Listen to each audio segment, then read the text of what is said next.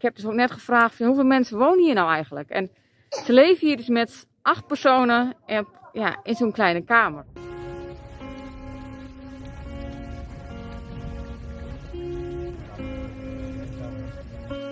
Ik sta hier in het kamp Masna.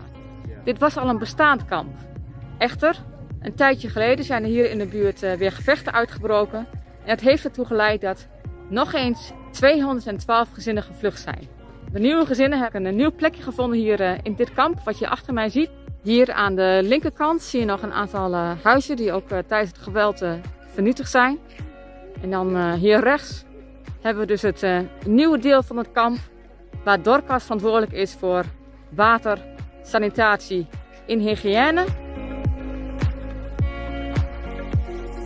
Here in Masna, we are supporting uh, 212 households who displaced from the communal conflict in Mapel.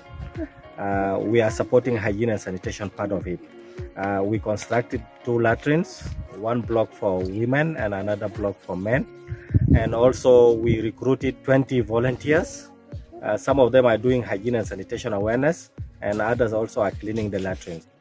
Ik heb zojuist ook even een uh, kijkje binnengenomen in een van de huisjes, hutjes. Ja, het is eigenlijk gewoon ja, echt een hutje. En ik heb dus ook net gevraagd van hoeveel mensen wonen hier nou eigenlijk? En ze leven hier dus met acht personen en, ja, in zo'n kleine kamer. Ja, dat is toch echt wel overweldigend als je dat eigenlijk bedenkt. Dat je dan met zoveel mensen op elkaar in zo'n kleine leefruimte zit. Aan de andere kant ben ik wel blij dat ze in ieder geval hier toch een, uh, een veilig heenkomen uh, gevonden hebben. Zoals je achter mij kunt zien vinden de kinderen hier in het kamp het uh, maar heel erg interessant. Dat er een kawaja hier rondloopt, oftewel een blanke.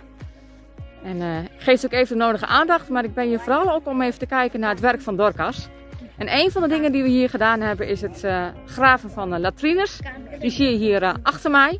Want je kunt je natuurlijk voorstellen wanneer je met heel veel mensen bij elkaar leeft ja, dat wel een aantal toiletten toch best wel heel handig zijn. Uh, helemaal natuurlijk in het huidige tijdperk van corona is ook super belangrijk dat mensen schoon zijn. Dat ze ook toegang hebben tot schoon water. Dat ze regelmatig hun handen kunnen wassen. En dat zijn eigenlijk allemaal zaken die we dus hier in uh, Kamp Masna doen.